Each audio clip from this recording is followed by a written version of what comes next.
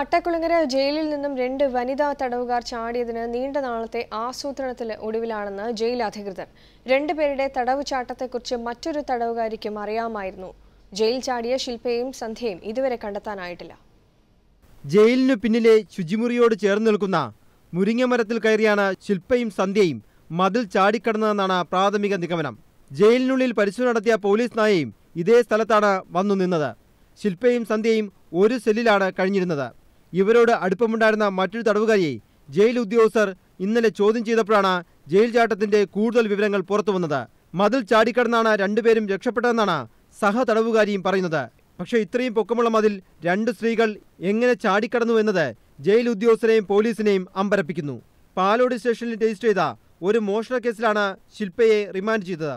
മുക്കുപണ്ടം വെച്ച് തട്ടിപ്പ് നടത്തിയ കേസിലാണ് നഗരൂർ പോലീസ് സന്ധ്യയെ പിടികൂടുന്നത്. ജാമ്യമെടുക്കാൻ ആരും വരാൻ സാധ്യതയില്ലാത്തതിനാൽ ജയിൽ ചാടാൻ ഇവർ തീരുമാനിച്ചിരുന്നുവെന്നാണ് സഹ തടവുകാരിയുടെ മൊഴി. ശില്പയും സന്ധ്യയും ആദ്യമായാണ് കേസുകളിൽപ്പെട്ട് ജയിലിലെത്തുന്നത്. ഇന്നലെ ജയിലിലെ ഫോണിൽ നിന്നും ശില്പ അടുപ്പക്കാരനായ ഒരു യുവാവിനെ വിളിച്ചിരുന്നു.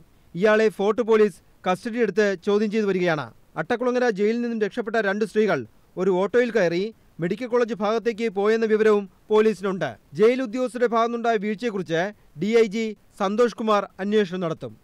ഏഷ്യാനെറ്റ് ന്യൂസ് തിരുവനന്തപുരം.